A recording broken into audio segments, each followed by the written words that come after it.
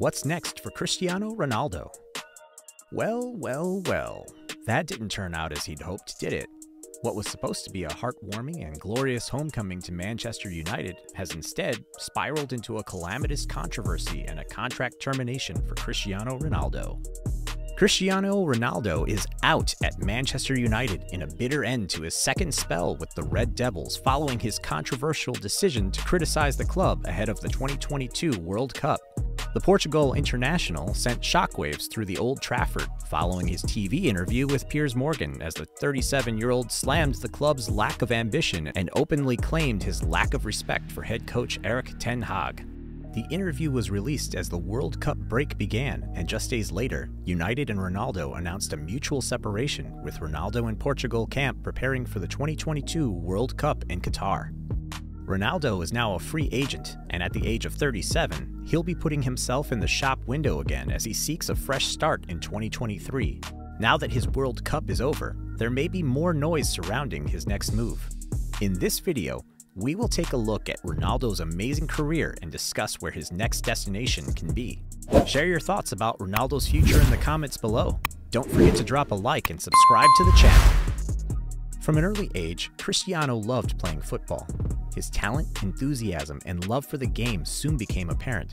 By the age of 10, his talent was becoming so well known in Portugal, he was signed by Nacional, a Portuguese side from Madeira. He later signed for Sporting Lisbon, one of the biggest clubs in Portugal. His first international exposure came when representing Portugal in under 17s at the UEFA Championships. His performance caused him to be marked by leading European football managers. After the departure of David Beckham, Sir Alex Ferguson decided to buy the youngster for a fee of £12.24 million. He started playing for Manchester in the 2003-2004 season. Despite initially asking for the number 28 shirt, Ferguson insisted that he wear the famous number 7 shirt. At Manchester United, his career steadily progressed. In the 2006-2007 season, Ronaldo was a key figure in Manchester's successful league campaign. Ronaldo scored over 20 goals as he won his first championship. In March of 2007, his prowess helped him to gain a record-breaking £120,000 a week five-year contract. He also won the PFA Player of the Year award. The 2007 to 2008 season was even better, with Cristiano Ronaldo being named the player of the tournament as Manchester United won the coveted Champions League trophy, the most prestigious club competition in the world. Sir Alex Ferguson said of Ronaldo, We've had some great players at this club in my 20 years, but he's up with the best. However, despite the success, Ronaldo expressed a desire to leave the club and move to Real Madrid. In 2009, Manchester United accepted an offer for £80 million from Real Madrid, making Ronaldo the most expensive player in the world. Despite intense pressure, Ronaldo thrived in the atmosphere at Real Madrid, reaching 100 La Liga goals in just three seasons. He went on to become Real Madrid's top goal scorer of all time and also La Liga's second highest goal scorer of all time, 311 goals from 292 appearances. At times, Real Madrid may have been overshadowed by their more successful rivals at Barcelona, who won more titles and competitions. With Ronaldo, Real Madrid have won the La Liga just twice, 2011 to 2012 and 2016 to 2017. However, he has guided Real Madrid to four UEFA championships in the league 2013 to 2014, 2015 to 2016, 2016 to 2017, and 2017 to 2018. On July 10, 2018, Ronaldo was signed by Italian club Juventus for a 100 euro transfer fee, plus an additional 12 million euros in other fees. In his first season, he helped Juventus to another Serie A title, and Ronaldo became the first player to win national titles in the three big leagues of England, Spain, and Italy. On the 27th of August 2021, Manchester United announced they had reached an agreement with Juventus to re-sign Ronaldo. The transfer was for an initial £12.85 million with a two-year contract plus an optional year. The announcement of his return was greeted with celebration by the United fanbase, and his second debut against Newcastle United also went to plan, scoring a brace in front of the Old Trafford faithful. But then, things started to go wrong. United began to lose, and lose hard. The final straw for manager Ole Gunnar Solskjaer came against Watford, where the team lost 4 1 and the Norwegian was sacked. In his place, Ralf Rangnick was appointed interim manager. Things did not improve, however. United had progressed to the Champions League knockout stages but crashed against Atletico Madrid, and Ronaldo's goals began to dry up in the league, with the club falling out of the race to the top four. A final burst saw Ronaldo end on 18 goals for the season, only behind Mohamed Salah and Heung-min Son in the goal-scoring charts, but it was too little, too late.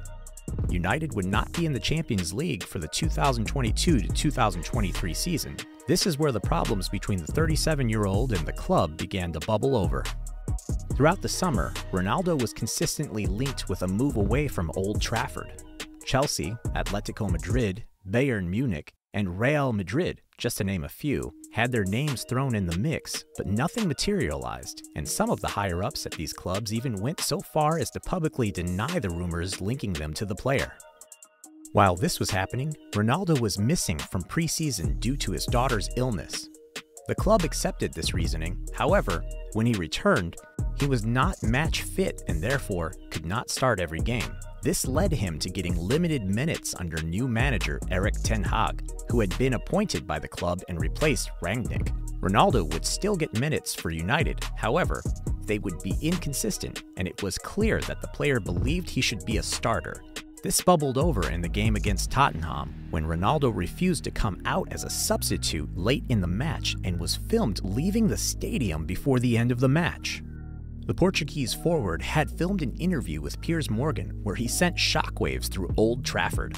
In said interview, Ronaldo took aim at his new manager, Ten Hag, saying that he didn't respect the Dutchman. He also took time to denounce his critics, namely Wayne Rooney and Gary Neville, while also criticizing the Glazer family.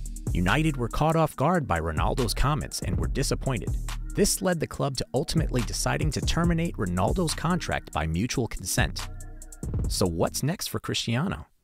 Al Nassr. Ronaldo decided to put his career on hold since he wanted to focus on his national team campaign during the 2022 Qatar World Cup, along with the likes of Bruno Fernandes, Joao Felix, and Bernardo Silva. Many considered Portugal as one of the favorites to win the most prestigious tournament in football. However, Portugal crashed out in the semi-finals against the competition's surprise, Morocco. After a controversial start of the seventh season with his club and an unsuccessful World Cup in Qatar, it was time for Ronaldo to decide the next step of his career. Although Ronaldo insisted that he was still capable of performing on the highest of levels, stating that different top Champions League clubs tried to sign him during the last summer transfer window, it turned out that there were no concrete offers coming from European clubs. Due to his age, high salary demands, and gradually decreasing performances, clubs like Bayern, Chelsea, Dortmund, and even Eintracht Frankfurt denied the rumors linking them with the Portuguese striker. However, rumors about Ronaldo joining Al Nassr in Saudi Arabia started to spread, a deal that would make Cristiano the highest paid football player in history. Some found these rumors ridiculous, as they were convinced that Ronaldo would still have another stunt in Europe before joining an inferior league. However, on December 30th, 2022, the world was stunned after it was revealed that Ronaldo officially signed for Al Nassr until 2025. This is only the football salary. However, including the commercial deals, Ronaldo's total salary will be close to $200 million, making it the biggest salary ever in football. Ronaldo commented on his move saying, I'm thrilled for a new experience in a different league and a different country. The vision that Al Nassr has is very inspiring. Al Nassr's squad already has some familiar names such as David Ospina, Luis Gustavo, Vincent Aboubakar, and Talisca, and are currently top of the Saudi Pro League with 26 points after 11 games. Ronaldo will not only bring more goals to his new club, but he will also shed light on the whole league and country as many of his loyal fans will support him and stick behind his back. Al Nassr's move to bring one of football's best ever is not only limited to sporting reasons. A move of this magnitude got the whole world talking and Qatar succeeding in hosting the 2022 World Cup. Saudi Arabia's ambitions to host the 2030 World Cup must have certainly risen through the roof, making such a transfer worthy to bring attention to the whole world that the Gulf countries are still eager to enter football's history. Many would consider Ronaldo's move as a sad end to a glorious career, especially now that Messi succeeded to lift the World Cup after a long wait. So what do you think? Share your thoughts with us down in the comments below and don't forget to hit the like and subscribe button.